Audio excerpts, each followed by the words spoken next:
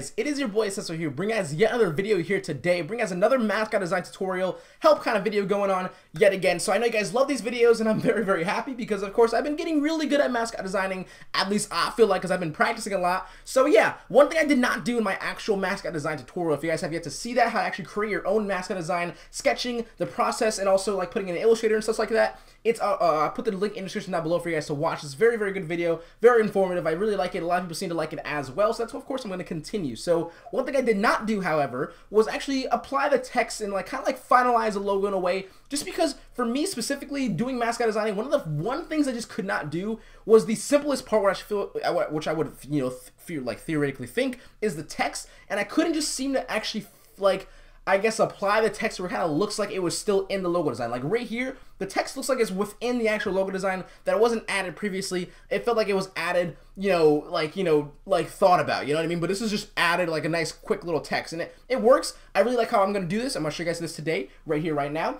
And the, uh, I think the font that I'm using, by the way, is Built Titling, I think, again. So yeah, that's one of those fonts that are in my font pack. You guys want to go ahead and check that out. The video did really, really well. You guys were like really freaking loved it. So if you guys have yet to see uh, that video or get any of those cool fonts, just I'll put that uh, video in the description down below as well because, of course, mascot designing, you need cool texts as well. So, okay, let's get this thing going. Really quickly, I'm to point this out. So you can see the outside stroke that I have, it's actually a color. Now, there's a specific reason I do that just because I feel like, one, it looks a little better, in my opinion, if you have like a black stroke followed by a uh, blue or, you know, excuse not blue, but a color stroke on the outside, on the farther outside, just because it kind of makes your text uh, your text look a little bit better in my opinion. Now, what I mean by that is with whatever's inside, whatever colors are inside your actual mascot, right? I have like grays, blues, whites within my mascot design, and then I have white on the outside. But then uh, if I would have white on the outside, I mean, it would just kind of be like weird. I feel like a black stroke on the outside completely surrounding your mascot design will look like really good. Like it would just kind of like finish it all. And then if you add an extra color of layer, uh, excuse me, an extra layer of color, excuse me, and then it would just kind of like fill the actual the actual logo even more. And then when you apply text, it's like this is basically what it looks like right without it. So without the text, is kind of what it looks like. It looks good, right? But if I add like the color on the outsides, and then I add the actual text, there's just something that just looks really good, of course, when you're actually adding the text with the color in the background. So if the reason why I say that is because if you had like the middle here and this was a color of blue, let's just say this was blue, right? Your text was white.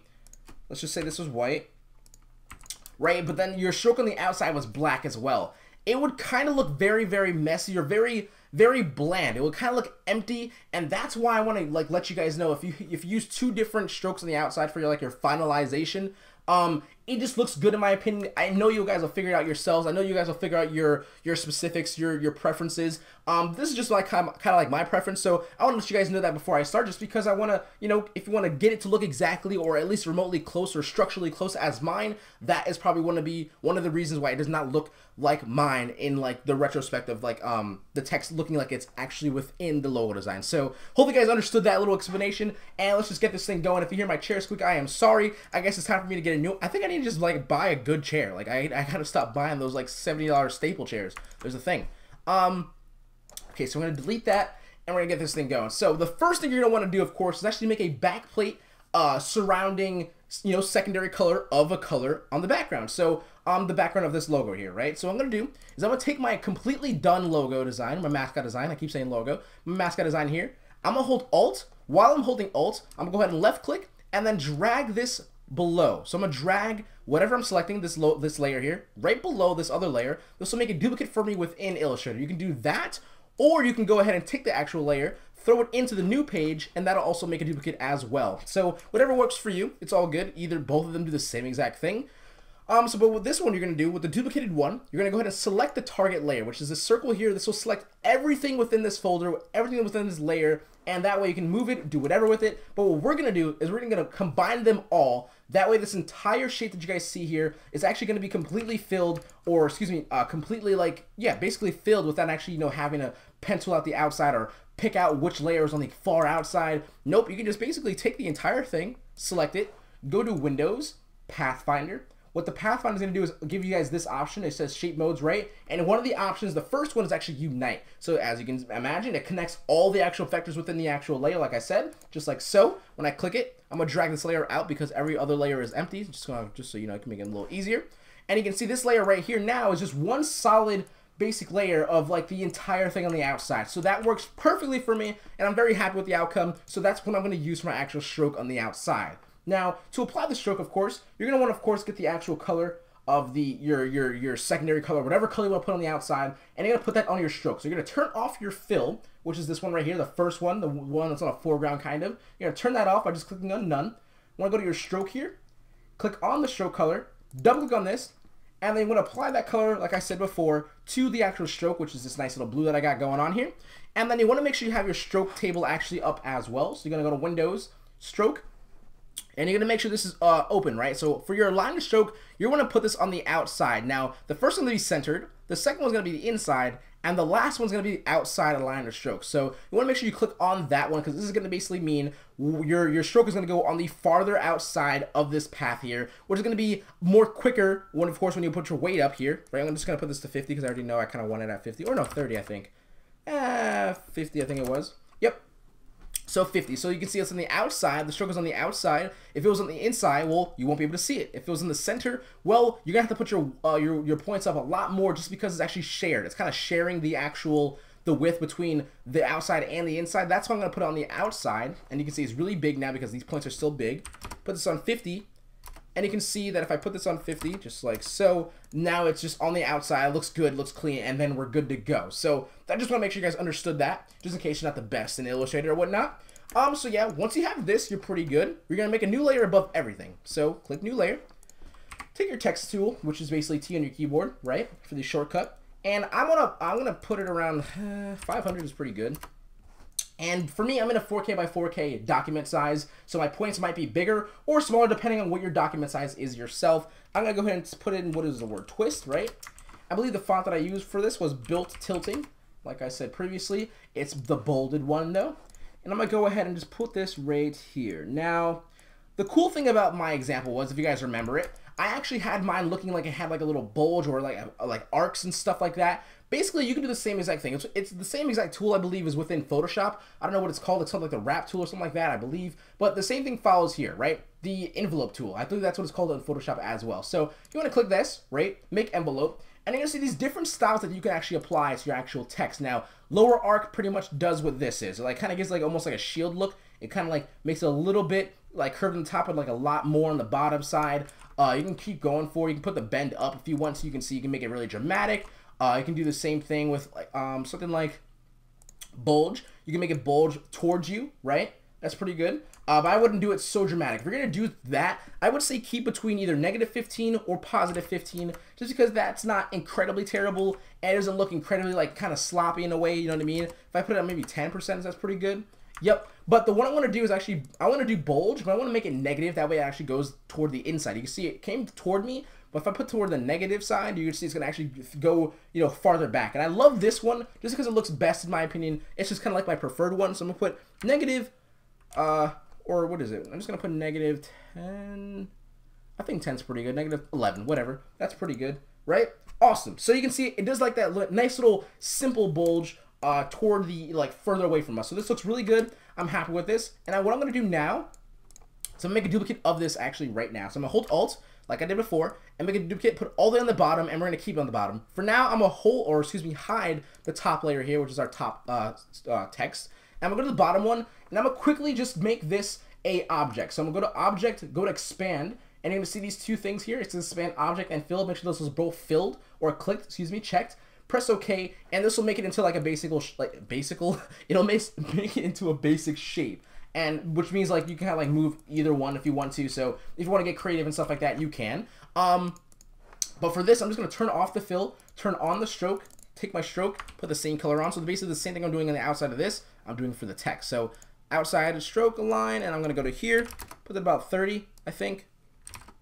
Right, that's a pretty good amount and I'm down for that. So basically, we've completed the the issue of you know applying all the strokes in the background, so you don't have to worry about that too much anymore. Realistically, now what's going to be happening is kind of like editing the text to make sure it looks you know good. But we're actually not completely done. You can see these little ins insides here. You're gonna have to actually fix that manually. If you have a text that, of course, has you know a more spaced out actual you know letters in their text or in their fonts, I'm gonna quickly turn this back on. I'm gonna make this also uh, white And before, I'm just going to actually go ahead and make this one object as well, because why the hell not?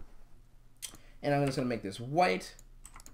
And okay, so basically to fix this this right here, this back one, so you have no more like white space, because we want to make sure it's actually completely filled in. So what you're to want to do is you're to have to manually do it yourself. So click a new layer right above that layer. I'm to go click in, use my pencil, which is uh, the uh, press P on your keyboard for the actual shortcut, and it's this tool right here. And you're just to have to basically zoom pretty far in, find out where this actual point ends over there. And of course, click over here, click and drag because this is an arc. I'm going to take this point, I'm going to hold control, I'm going to hold this, I'll move this toward here. And I'm going to say to myself, what's a pretty good, like, you know, what's pretty good right here? This is okay. I know it's not going to be complete. Oh, let me turn this off really quick. I know it's not going to be completely perfect because this is an S now. However, the S does go below everything, so it kind of like makes sense. But what I'm going to do is I'm going to make sure that I'm going to click all the way around, make sure I cover this white space. I'm going to go around this white space, right? I'm going to make sure I get this right here. I'll make sure I get this little part right here with this Y, or this W, excuse me. And the spacing between the T and the W, I'm to make sure I completely fill that as well. Now what I'm to do is I'm to click it, put it back on the fill, and I'm to change my fill color. By the way, what I'm doing to select the colors, I'm using my eyedrop tool. I already have a color a color here, like blue, uh, white, black, that are all fill colors and not stroke colors. So if I can just click this, or not that one, okay, this one right here, it actually completely fills in the color with the same exact color and the same exact uh, fill path as this, so I don't have to actually you know go into here and then manually put the color back in. I can just kind of pick a color from my mascot design, and there we go. So I can see now it fills in the space, and that is what you guys want. So basically, you have you know this empty space which looks kind of weird and does not look clean. And if you click this, you can see now we actually apply the uh, you know additional uh, shape to it so it fills in the actual space and it looks good now the same thing you have to do again one more time toward the actual top layer this is actually our top text just so you guys know because it's white and you won't be able to see in the thumbnail we're going to make a duplicate of this one. We're going to go ahead and apply the stroke to it. And we're going to apply the same stroke as this one right here. But I'm, of course, I'm going to make it a lot lower, like 25 maybe. Um, 25 is pretty good. But is on the outside? It's not on the outside. So I'm actually make it a little less. Maybe like, what do you guys think? Like 17? I think that's pretty good. So we're to have to do the same exact thing for this one right here. So let's do that right now. So click on this end, click on this end, click and drag, make sure, you know, make an arc for yourselves, and then hold control, select this extended point here, and then make sure you kind of go through it once again. Right, just so there's no space. There's a lot more empty space here, so I actually have to make sure I go through it in the entire thing. There we go. I kind of like just made my own little path going through. And then basically, just like so, fill it in, and there we go. Fill it, of course, with the same exact color, and then you get something like this. Now, if you guys want to, you can do the same thing on the top layer. As you can see, this it's, it's empty here as well, so I'm going to have to make another new layer, and then do the same thing on the top just because I wanted to make sure that there's no empty space. There's space here, and there's space here. We want to get rid of that. We don't want to make sure, we want to make sure it's completely beautiful and looks good, and everyone's happy, just like so. And we're to kind of just go through it right? And then make sure we fill that in. So what I filled in was this part right here, as you can see, right? So now we're pretty much almost done. At the same point, we actually are done. What you can do is kind of like, you know, you can, since we did actually make this into a object, our actual text into an object, and no longer one like, you know, kind of text path, you can actually click on multiple letters and then change to like to whatever color you guys want and then you're pretty much set in stone. You're really good to go. So if you ever want to like go back into it and kind of like make strokes bigger and whatnot, if you guys want to make it, you know, the blue stroke here, maybe you want to make it bigger because it's too like thin for you, you just want to click on it, click on this target circle, click on the stroke, and just make it go up. However, you're gonna have to, you're gonna actually have to fix that thing you did here. You can either probably like kind of like make it big with Control T or uh, Command T or whatever, or no, Control T. It's Control T, and then kind of fix this again just because you know you want to make sure it's still good and all you know nice and done evenly right? So if you want to make that bigger as well you probably have to make this one bigger as well. Um where is it? Is it this one? No it's definitely where is it? It's in here isn't it? Nope. Where to go? This one right here. Boom. And make this one a little bit more thicker so it's just kind of like a thing. And then we're going to take this and kind of drag these back down and it's just it just depends what you guys want to do. So I kind of didn't like it because it was too thin for me. So I'm just gonna fix the choke and then fix, of course, these two things up here as well. All the other like extended like fill paths or the fill shapes That way we're looking good and all that cool stuff. And basically, once you're done, you said you're satisfied. This looks really good, and it looks like the text is also applied to the actual mascot design. So hopefully I explained it as best as I could because it was one thing that was really I really struggled with. I don't know why I struggled with it. So I said to myself, there's probably other people out there who struggles with it. So I'm gonna actually do the video on it, and I hope you guys enjoyed. I really, really do. Uh, thank you guys so much, by the way, for enjoying these logo design tutorials. I've been really enjoying them. Also, After Effects like I, I've been really I've been trying to push it. As you can see, I kind of been using After Effects to edit my videos, not Sony Vegas. So hope you guys enjoy. I'm really really trying super hard, and thank you guys so much for the support lately. I've been like 50 subscribers daily. It's it's really freaking beautiful. I love you guys so freaking much. Please freaking keep smiling, stay positive, and stay productive, guys. I will talk to you guys later. Ciso HQ out. Peace. God, you guys are so beautiful.